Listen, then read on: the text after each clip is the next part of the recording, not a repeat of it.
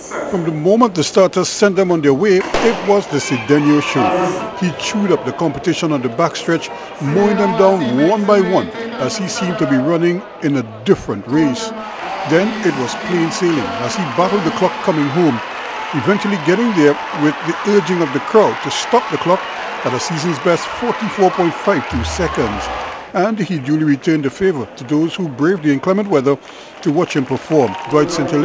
Was a distant second in 46.08 with Darren Alfred third in 46.63. The appreciative crowd gathered had even more to celebrate in the century. They watched as Michelle-Lee Ahye got off to a flying start and looked to have the race won easily until Kelly-Ann Baptiste started gaining with every stride and just missed out as he crossed first in 11.18 seconds, her season's best. Baptiste was second in 11.22 with Kamaria Durant third in 11.30. Okay, I guess. Um, the weather kind of threw me up a little bit because when the track is wet, mm. not as fast as it's when it's dry. But I'm pretty happy with the performance. Then they had even more reasons to cheer as the men's final was a showstopper.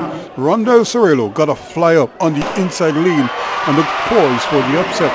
That's until Keston Bledman found another gear and surged past everyone to lead first to take the win just ahead of another lead surging Jereme Richards who outleaned Sorrillo to take the silver as they were both afforded identical times. Bledman picked up his fifth national title with a season's best 10.20 seconds, clocking uh, Richards and Sorrillo clocked 10.23. A win is a win no matter what time is. And I mean, I come here to win, so it was, it was a great.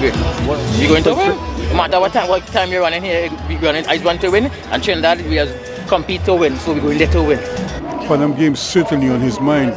Also, the 2012 Olympic champion Keshorn Walcott looked on course for another national title when he uncorked a couple of sumptuous throws in the javelin event. He looked ready to defend his Pan Am Games title until he ran up and threw another long one but walked through the throwing lane to signal a deliberate foul throw and took no further part. He was subsequently disqualified but it didn't take away from a thrilling second day leaving many to anticipate day three with a relish. Ruskin Mark, TTT Sports.